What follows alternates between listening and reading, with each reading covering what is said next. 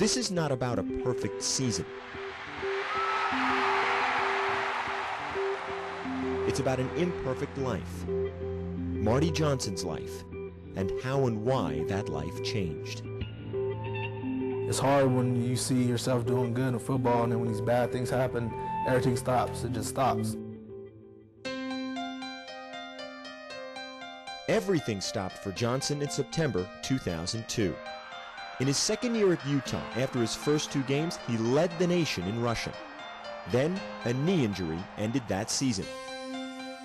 I started going out almost every other night and didn't really care how my body was and far because I knew I wasn't playing football no more and the coaches really didn't care and I just started doing things to my body and drinking a lot and when I shouldn't have.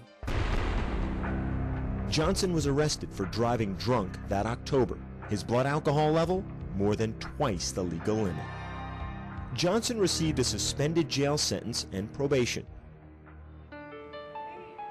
When Urban Meyer arrived at Utah in the spring of 2003, he learned Johnson's situation and reached out in an unusual way by inviting him to his daughter's baseball game. You know, I think it's important for kids who didn't grow up with sisters and brothers to, you know, figure out life isn't all about nightclubs and life isn't all about uh, some of the things you, you hear about. Life is going to watch a little girl playing on an all-boys baseball team. Johnson became a regular at Gigi Meyer's games, visited the Meyers house, became a part of the Meyer family. Until an early September morning in 2003. His girlfriend called me, and uh, it was one of the most devastating, probably, phone calls I've ever, I've ever had. Uh, initial reaction, it's over. I did not want to talk to him. I did not want to see him. Uh, my reaction was, I hope he goes to prison for a long time. Urban called me and said, Marty got another DUI. And I just went into tears. In Utah, where drinking is far from socially accepted, the family faced a decision. Keep Johnson or cut him. Shelley Meyer, a psychiatric nurse who specializes in addiction, never wavered. I felt like we owed it to Marty to give him one more chance. I never for once in a, a minute thought that we should kick him off the team. Shelley's the one that uh, really encouraged me that you know, who cares what the media thinks about, you're talking about someone's life. Suspended indefinitely from the team with a second DUI conviction in less than a year, Johnson went to jail on Thanksgiving Day 2003 for a month-long sentence.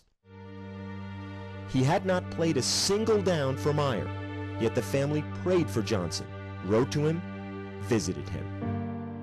All of a sudden you hear a door open and here comes a, a guy that you know. That's the first time really I've ever done that. Wearing his orange jumpsuit and he comes out and sits down and that was, that was hard. The way his family treated me, um, it had been so easy just to say, let him go. And But his daughters, his, his uh, wife, his daughters, just the way they treated me, they never gave up on me, it just means a lot to you. And now that you to talk about it, I mean, I really didn't talk about it that much before, but people know what he means to me and his family. And this means a lot that they didn't give up on you, because if they did, and uh, I don't know where I'd be right now. Upon his release, Johnson entered alcohol counseling under Shelley's supervision. To rejoin the team this season, he had to live under a curfew, perform community service, and pass random urine tests. Marty Johnson forward to the goal line. Touchdown. This year, Marty Johnson has rushed for 14 touchdowns, earned his college degree, and he says he's not had a drink in 15 months. In Utah's perfect season, it's not a perfect life, but a better one. We don't get rid of players around. That's the easy thing to do. The hard thing to do is try to correct, change an individual. It does. It takes effort. It takes time. It takes patience. And if you think he's done with this for a minute, you're, you're, you're wrong. The biggest thing he did was make me realize that I really had a problem and people cared about me besides football. I mean, it's more than just football with him. It's about life.